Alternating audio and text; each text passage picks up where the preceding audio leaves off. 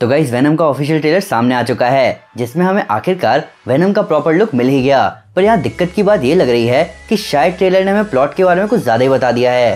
Venom के पहले teaser trailer के बाद कई फैंस वेनम के प्रॉपर लुक को देखने के लिए बेचैन थे, और कसम से, ये लुक ज़बरदस्त है।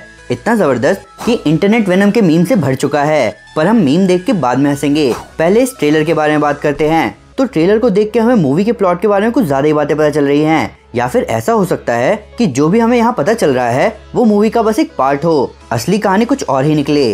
तो गाइज़ मैं हूँ अमन सिन्हा और आज मैं ब्रेक डाउन करने जा रहा हूँ वेनम के ऑफिशियल ट्रेलर का। तो स्पॉयलर्स का ध्यान रखते हुए चलिए शुरू करते हैं। तो ये ट्रेलर शुरू होता है क्रैश रैकेज के साथ, जहाँ से सिम्बायोटिक फाउंडेशन के हाथ लगा है। ये फाउंडेशन है लाइफ फाउंडेशन एक स्पाइडरमैन विलन ग्रुप कॉमिक्स में लाइफ फाउंडेशन ने कई उल्टे काम किए हैं। इन्हीं उल्टे कामों में से एक है मैनिपुलेशन ऑफ़ सिम्बायोट्स तो लाइफ फाउंडेशन के इस सिम्बायोट को क्लेम करने के बाद इसे लाया जाता है फाउंडेशन के हेड कार्टन ड्रेक के पास। पिछले टीजर में हमें शक था कि ये जो साइंटिस्ट हमें दिखाया गया है, वो कार्टन ड्रेक है। पर इस ट्रेलर में ये बात कंफर्म हो गई है। इसके बाद हमें दिखता है सोनी और मार्वल का logo Venom X-Men Fantastic Four ये सब मार्वल कॉमिक्स के कैरेक्टर हैं। इसीलिए इन सभी की मूवी से पहले हमें मार्वल का लोगो दिखता है। जबकि मार्वल सिनेमैटिक यूनिवर्स की मूवी से पहले हमें मार्वल स्टूडियोज का लोगो दिखता है। पर यहाँ इन एसोसिएशन विद लिखे होने का मतलब ये है कि सोनी वेनम को साफ़ साफ़ एमसीयू से अलग बता रहा है। इसके ठीक बाद हमें एडी ब्रॉक अपनी गर्लफ्रेंड एन वेइंग के साथ दिखता है। एन वेइंग के बारे में हम पिछले टीजर ट्रेलर में बात कर चुके हैं। पर यहाँ हमें नई बात ये पता चली है कि एन जिस फर्म के लिए काम करती है, वो फर्म लाइफ फाउंडेशन के साथ किसी प्रोजेक्ट पर काम कर रहा है। और एडी एन को बता रहा है कि ये फाउंडेशन ईविल है। तो एडी ब्लॉक एक रिपोर्टर है, जो कि उन लोगों का पीछा करता है, जिन लोगों को पीछा करे जाना पसंद नहीं है।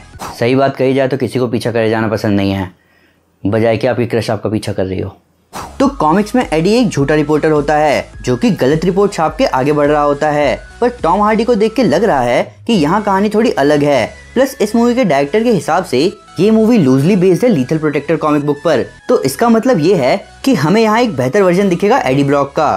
तो आगे हमें कार्टन ड्रेक का एक प्रॉपर लुक मिलता है, जिनका रोल प्ले कर रहे हैं रिज अहमद कॉमिक्स में कार्टन ड्रेक एक टिपिकल बिजनेसमैन है पर रिज अहमद का लुक कॉमिक के कार्टन ड्रेक से बहुत डिफरेंट है। तो अगले शॉट में हम एडी ब्लॉक को कार्टन ड्रेक का इंटरव्यू लेते हुए देख सकते हैं जो कि उससे किसी खतरनाक टेस्ट के बारे में पूछ रहा है जिसमें शायद लोगों की जान गई और ड्रेक यहाँ इंटरव्यू खत्म कर रहे हैं। पर एडी को इस बारे में किसी और से पता चल रहा है जो कि उसे फॉलो करके खुद ये सब बता रही है। मैं बोल ही रहा था कि इस ट्रेलर ने हमें प्लॉट के बारे में कुछ ज़्यादा ही बातें बता दी हैं।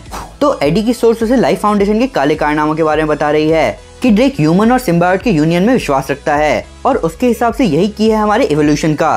पर इस वजह से कई टेस्ट सब्जेक्ट शायद मारे भी जा रहे हैं। तो यहाँ हमें सिम्बायोट का प्रॉपर लुक भी मिलता है और पीछे के सेटअप को देख के हम कह सकते हैं कि यहाँ टेस्टिंग हो रही है। तो लीथल प्रोटेक्टर कॉमिक में बेसिकली पाँच सिम्बायोट होते हैं। स्क्रीम रैट एग्नी लेशर और फ़ेज़ तो मोस्ट प्रोबेबली एडी ने इन पाँचों को डिस्कवर कर लिया है और शायद यहीं पर वो इन्फेक्ट भी हो गया हो। तो यहाँ एडी मिल चुका है सिम्बायोट से। बेसिकली वेनम एडी और सिम्बायोट के कॉम्बिनेशन को कहा गया है। तो सिम्बायोट के एडी में घुसते ही उसके अंदर एक और पर्सनैलिटी आ चुकी है, जो कि उससे कुछ कह रही है, पर एडी को यकीन नहीं हो रहा। हालाँकि अगले शॉट में हमें ड्रेक के आदमी दिखते हैं, जो कि एडी से ड्रेक की प्रॉपर्टी मांगने आए हैं, जिसका मतलब एडी ने ड्रेक की फैसिलिटी से कुछ चुराया है, या फिर एक सिम्बायोट का पूरा कंटेनर एडी के बॉडी में घुस चुका है। खैर, जो भी हो इसके बाद हमें पहली बार सिम्बायोट एक्शन में दिखता है। ये क्लियर है कि एडी का सिम्बायोट पर कंट्रोल नहीं है, और इसीलिए वो नहीं, सिम्बायोट एक्शन में है। जिसके बाद शुरू होती है भगदड़। तो जो बाइक चीज़ हमें पहले टीजर ट्रेलर में दिखा, वही सेम बाइक चीज़ हम इस ट्रेलर में भी देख सकते हैं, पर सिम्बायोट टच के साथ। प्लस यहाँ हम देख सकते हैं कि कुछ ड्रोन्स एडी का पीछा कर रहे हैं। तो इसका मतलब है कि ड्रेक को एडी के अंदर घुसा सिम्बायोट किसी भी हाल में चाहिए। आगे के शॉट्स में हम एडी को सिम्बायोट से डील करते हुए सुनते हैं कि अगर वो उसमें रहेगा तो वो सिर्फ़ बुरे लोगों को नुकसान पहुंचाएगा। तो क्योंकि एडी एक रिपोर्टर है तो उसे पता है कि कौन अच्छा है और कौन बुरा, और वो बुरे लोगों को नुकसान पहुँचाने के लिए रेडी है, जो कि उसे एंटी हीरो बनाता है, क्योंकि हीरोज किसी को भी नुकसान नहीं पहुंचाते, जैसे कि स्पाइडरमैन जो कि होम कमिंग के एंड में वल्चर को बचाता है। आगे हम देखते हैं सिम्बार्ट को एडी को कंट्रोल करते हुए, और उसे बताते हुए कि हम कुछ भी कर सकते हैं। तो बेसिकली सिम्बार्ट वी यानी हम शब्द का यूज़ कर रहा है, जिसका मतलब वो एडी की भी सहमति चाहता है। आगे हमें एडी भागता हुआ दिखता है एन विंग परेशान दिखती है, पर सबसे इम्पोर्टेंट शॉट ये है, जहाँ Eddie most probably Carlton Drake की कैद में है, जिसका मतलब ड्रेक को एडी की ज़रूरत है, क्योंकि शायद वही सबसे सक्सेसफुल सब्जेक्ट रहा हो। तो यहाँ ड्रेक कह रहा है कि क्या तुम सब सेक्रीफाइस कर दोगे, जिसपे एडी कह रहा है कि तुम्हें बहुत डरना चाहिए। तो ऐसा हो सकता है कि ये अलग अलग कट हो, और असली बातचीत कुछ और ही निकले। तो अगले कुछ शॉर्ट्स में हमें मूवी का स्लोगन भी दिखता है। कि embrace your inner anti hero तो हम सब में एक हीरो और एक एंटी हीरो होता है। हीरो सबका भला चाहता है और एंटी हीरो किसी भी हालत में भला चाहता है। तो आप समझ ही रहे होंगे कि ये मूवी डेडपुल और सुसाइड स्क्वाड जैसी होने वाली है, जहाँ वेनम अब एक एंटी हीरो का नया एग्ज़ाम्पल सेट करने वाला है। और इसके बाद हमें पहला औसम लुक मिलता है वेनम का, जहाँ सिम्बायोट और एडी एक होकर बोल रहे हैं वी आर वेनम ये लुक एकदम परफेक्ट है। अगर आपने कॉमिक्स या एनिमेटेड सीरीज़ में वेनम को देखा है तो आप समझ ही रहे होंगे कि ये लुक कहाँ स्टैंड करता है। लंबी आँखें शार्क जैसे दांत, लंबी जीव और व्हाइट वेन्स ये है असली वेनम हालाँकि स्पाइडरमैन थ्री के टॉफर ग्रेस वाले वेनम भी ज़बरदस्त थे, पर उस मूवी में भीड़ कुछ ज़्यादा ही हो गई थी, जिसकी वजह से वो ज़्यादा शाइन नहीं कर पाए। तो अब बात करते हैं वी आर वेनम की। बेसिकली एडी और सिम्बायोट की सोच अलग अलग है, पर एक दूसरे के टर्म्स को एक्सेप्ट करने के बाद हमें वेनम दिखता है। यहाँ व्यूअर्स देख सकते हैं इंटरनल कन्फ्लिक्ट क्या होता है। हम सबकी अपनी प्रॉब्लम्स होती हैं, हमारे अपने पंगे होते हैं और हमारे अपने डीमन होते हैं। यहाँ बस डिफरेंस ये है कि एडी ब्रॉक को उस डीमन को शो करने की पावर मिल गई है।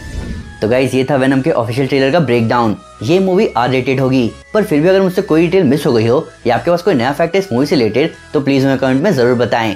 साथ ही साथ में ये बताएँ कि आपके हिसाब से हमें कॉमिक्स वाला झूठा आईडी दिखेगा, या इस मूवी का एडी ब्लॉक अलग होगा। ऊपर से लेटेस्ट सुपर न्यूज़ और ऑसम सुपर फैक्ट्स के लिए हमें फेसबुक ट्विटर इंस्टाग्राम और गूगल प्लस से फॉलो करना ना भूलें। हम हर जगह हैं। तो गाइज़ अगर आप वेनम या कार्नेज को कॉमिक्स में देखना चाहते हैं तो मैं आपको हमारी Deadpool kills the Marvel universe again comic series recommend करूँगा। साथ ही साथ, अगर आपको ये वीडियो पसंद आए तो इस वीडियो को लाइक और शेयर ज़रूर करें और ऐसे कई सारे सुपर कंटेंट के लिए हमारे चैनल को सब्सक्राइब करना ना भूलें। Thank you guys this is Aman Sinha and you are super super peace